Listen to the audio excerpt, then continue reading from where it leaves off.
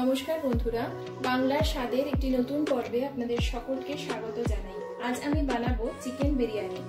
আজ আমি দেখাবো কীভাবে খুব সহজে এবং ঘরোয়া পদ্ধতিতে এই বিরিয়ানি আপনারা বানাতে পারবেন।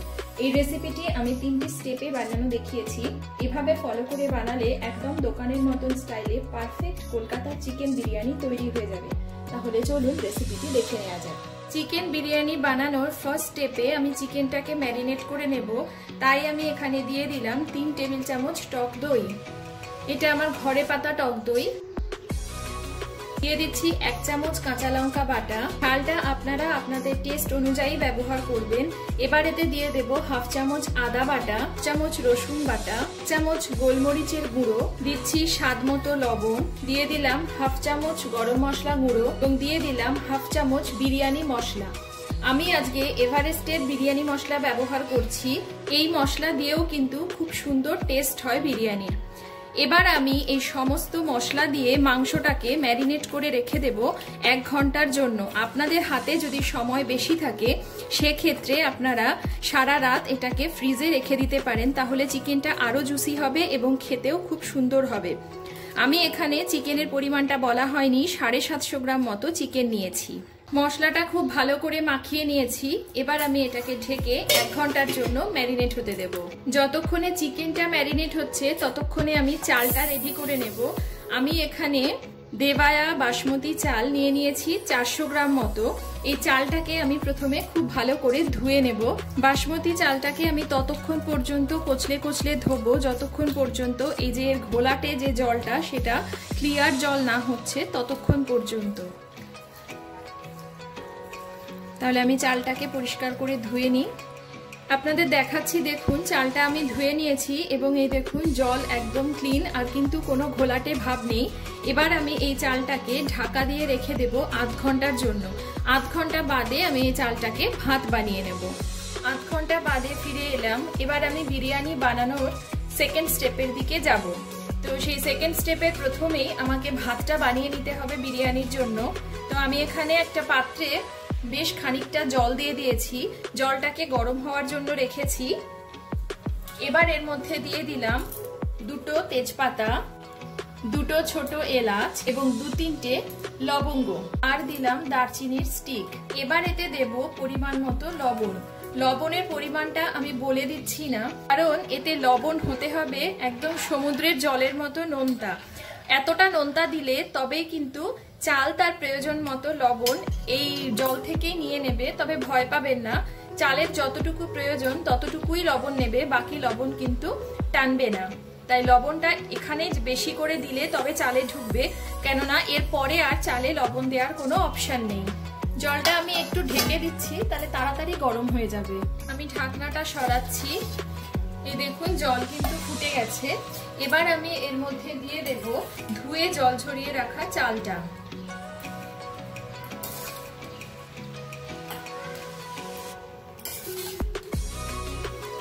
চালটাকে এইটটি পার্সেন্ট পর্যন্ত কুক করে নেব। মানে চালটাকে হাত দিয়ে টিপলে দেখা যাবে যে ভেতরটা সেদ্ধ হয়েছে এবং বাইরের দিকটা একটু শক্ত আছে। সেই পর্যন্তই কিন্তু চালটাকে সেদ্ধ করতে হবে। এবার আমি হাফ এরম করে ঢেকে এবং গ্যাসের আঁচকে মাঝারিতে রেখে আমি চালটাকে সেদ্ধ করে নেব। আপনাদের চালটা একটু দেখাচ্ছি, দেখুন। এই যে মাঝখানের অংশটা, সেটা সেদ্ধ হয়ে গেছে। বাইরের সাইডটা একটু শক্ত আছে। এই পর্যায় পর্যন্তই কিন্তু ভাতটা রেঁধে নিতে হবে। এই ভাত আমাদের একদম তৈরি হয়ে গেছে। এবার আমি এটা জল ঝরিয়ে নেব। কলকাতার বিরিয়ানি বানাবো, তাই আলু মাস্ট আমি এখানে তিনটে এরকম ছোট সাইজের আলু খোসা ছাড়িয়ে নিয়েছি। এবার আমি এগুলোকে কাঁটা চামচ দিয়ে একটুখানি এরকম প্রিক করে নেব, যাতে এর ভেতরে ফ্লেভারটা খুব সুন্দরভাবে ঢুকে যায়। এবার আমি আলুর মধ্যে দিয়ে দেব খুব সামান্য পরিমাণে একটুখানি হলুদ।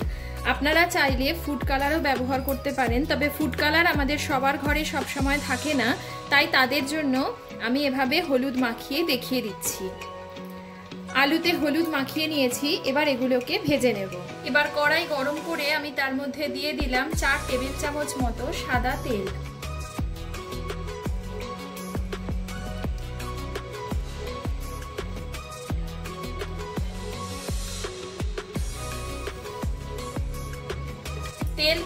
গরম হয়ে গেছে, এবার আমি এই হলুদ মাখানো আলুগুলো দিয়ে ভেজে নেব। আলু ভাজা হয়ে গেছে, এবার আমি এটা উঠিয়ে নিচ্ছি। আলু তুলে নেওয়ার পর ওই তেলেই আমি পেঁয়াজ বেরেস্তা বানিয়ে নেব। আমি এখানে নিয়ে নিয়েছি তিনখানা মাঝারি সাইজের পেঁয়াজ।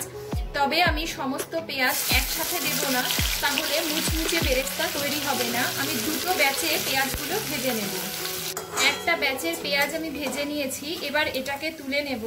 এর থেকে বেশি আমি আর ভাজবো না, তাহলে এটা থেকে থেকেই কালো হয়ে যাবে।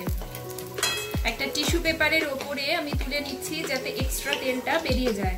এটা তুলে নিয়ে তারপর আমি নেক্সট ব্যাচের পেঁয়াজ ভেজে আপনাদের কাছে ফিরে আসছি।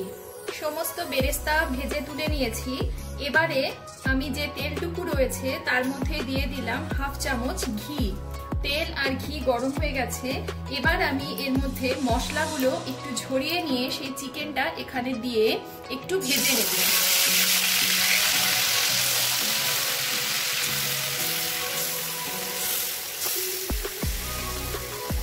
চিকেনটাকে প্রথমে হাই ফ্লেমে একটু উল্টে পাল্টে ভেজে নেব।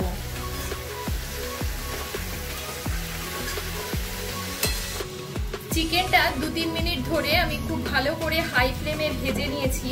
এরপর আমি গ্যাসের ফ্লেম কমিয়ে দিয়ে এবার এতে যে ম্যারিনেট করা মশলাগুলো ছিল সেটা এখানে অ্যাড করে দেবো। এবার আবার গ্যাসের জোরটা বাড়িয়ে এই মশলার সঙ্গে আমি মাংসটাকে খুব ভালো করে কষিয়ে নেব।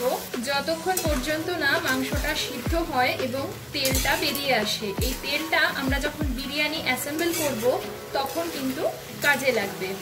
এই দেখুন, কুড়ি মিনিট ধরে আমি চিকেনটাকে কষিয়ে নিয়েছি স্লো ফ্লেমে এবং এই যে মাংস হাড়ের থেকে আলাদা হয়ে গেছে, তার মানে মাংসটা কিন্তু খুব ভালো করে সিদ্ধ হয়ে গেছে।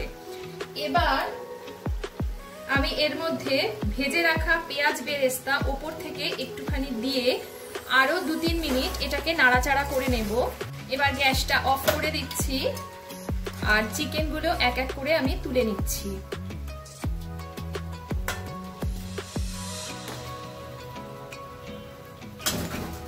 সমস্ত মাংস তুলে নিয়েছি। এবার এই ওপর থেকে যে তেলটা আছে সেই তেলটা আমি উঠিয়ে নেব। এটা আমি যখন বিরিয়ানি অ্যাসেম্বল করব, তখন আমি কাজে লাগাবো। মাংস রেডি হয়ে গেছে। আলু ভেজে রেডি করে নিয়েছি। মানে আমাদের সেকেন্ড স্টেপ পুরোপুরি কমপ্লিট এবার আমরা ফাইনাল স্টেপের দিকে মানে বিরিয়ানি অ্যাসেম্বল করার দিকে আমরা চলে এসেছি। তো আমি এখানে একটা বাটিতে চার টেবিল চামচ দুধের মধ্যে এক চামচ কেওড়া ওয়াটার, এক চামচ রোজ ওয়াটার এবং একটু ফুড কালার মিশিয়ে রেখে দিয়েছি। এবার আমি এই দুধের মধ্যে দু ড্রপ মিঠা আতর দেব। আতরটা বেশি করে দেবেন না, তাহলে কিন্তু তিতকুটে লাগবে। যদি কলকাতার বিরিয়ানির টেস্ট আনতে হয়, তাহলে কিন্তু এই আতর দেওয়াটা খুব জরুরি। না হলে কিন্তু সেই গন্ধটা আসবে না। ভালো করে এটা মিশিয়ে নিচ্ছি। এবার আমি বিরিয়ানির সমস্ত উপকরণ একসাথে অ্যাসেম্বল করব, আর আমি এই বড় ডেচকিটাতে বিরিয়ানি বানাবো। তাই আমি এর নিচটাতে একটুখানি ঘি ব্রাশ করে নিচ্ছি, যাতে নিচে স্টিক না করে। ঘি ব্রাশ করা হয়ে গেছে। এবার আমি যে ভাতটা রান্না করেছিলাম, সেই ভাতটার অর্ধেকটা নিচে বিছিয়ে দেব।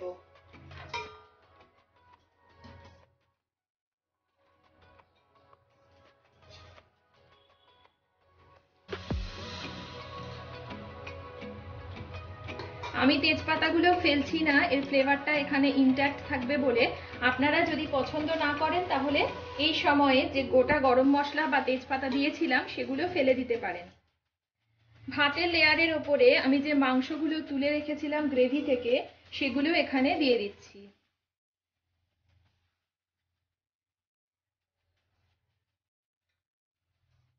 এবারেতে দিয়ে দিচ্ছি ভেজে রাখা আলুগুলো। এবার আমি কড়াইতে যে গ্রেভিটুকু থেকে গেছিল, সেই গ্রেভিটা ওপর থেকে একটু ছড়িয়ে দেব। এবার আমি এতেই সেদ্ধ করা ডিমগুলো একটু সাইড করে দিয়ে দিচ্ছি। আলু, ডিম, মাংস সমস্ত কিছু দেওয়ার পরে ওপর থেকে ছড়িয়ে দেব একটুখানি বিরিয়ানি মশলা। দিয়ে দেব বেরেস্তা আমি যে দুধটার মধ্যে ফুড কালার এবং মিঠা আতর দিয়ে রেখেছিলাম, সেটা এখানে দু এক জায়গায় এরমভাবে দিয়ে দেব। একটা লেয়ার আমি রেডি করে ফেলেছি। এবার ফাইনাল লেয়ারে আমি যে বাকি ভাতগুলো আছে, সেগুলো বিছিয়ে দেব।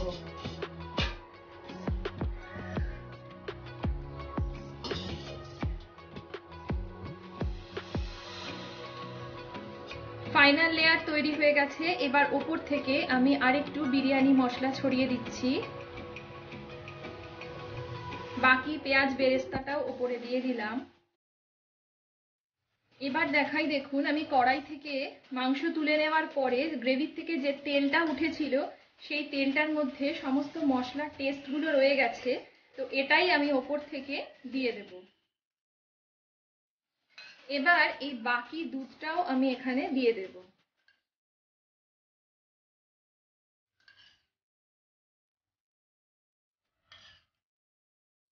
এরকম ক্রস করে আমি দুধটাকে দিয়ে দিচ্ছি। বিরিয়ানির সমস্ত প্রসেস আমার রেডি হয়ে গেছে, এবার এটাকে দমে বসাতে হবে। আপনারা চাইলে আটা দিয়ে, ঢাকনা দিয়ে সিল করে বসিয়ে দিতে পারেন। আমি এখানে একটা ভিজে কিচেন টাওয়াল এর ওপরে দিয়ে দেব। যাতে এর থেকে এর ভেপারটা বাইরে না আসতে পারে। তারপর এর মুখে এই ঢাকনাটা প্রপারলি বসে, সেই ঢাকনাটা দিয়ে বাকি আমি চারটে কোনা এভাবেই তুলে দেবো। এবার একটা রুটির তাওয়া আমি গ্যাসে বসিয়ে দিয়েছি। গ্যাসের জোর আমি একদম হাইতে রেখেছি। রুটির তাওয়াটা যখন ভালো করে গরম হয়ে যাবে তখন আমি জোর কমাবো। এবার এই বিরিয়ানির ডেচকিটা আমি খুব সাবধানে এর উপরে বসিয়ে দেব। খুব ভালো করে গরম হয়ে গেলে তারপর আমি গ্যাসের জোর, যতটা সম্ভব স্লোতে করে দিয়ে আধ ঘণ্টার জন্য এটাকে দম দেব। এই দম দেওয়ার প্রসেসটা যদি এক ঘণ্টা বাদে বাদে দু তিনবার করে নেওয়া যায়, তাহলে এর টেস্ট সব থেকে বেশি ভালো হয়। তাহলে এটা এভাবেই দম হতে থাকুক, আধ ঘণ্টা বাদে আমি ফিরে আসছি। তৈরি হয়ে গেল চিকেন বিরিয়ানি, একদম পারফেক্ট কলকাতা স্টাইলে রেসিপিটি যদি আপনাদের ভালো লেগে থাকে, তবে লাইক করবেন বন্ধু বান্ধবের সঙ্গে শেয়ার করবেন এবং আমাকে কমেন্টের মাধ্যমে জানাবেন। আমার চ্যানেলে নতুন বন্ধু হলে চ্যানেলটি সাবস্ক্রাইব করার অনুরোধ রইল। পাশে থাকা বেল আইকনটি প্রেস করে দেবেন যাতে নিত্য নতুন রেসিপির আপডেট আপনাদের কাছে পৌঁছে যায়। তাহলে আজ আসি, দেখা হবে নতুন কোনো পর্বে, নতুন কোনো রেসিপির সাথে।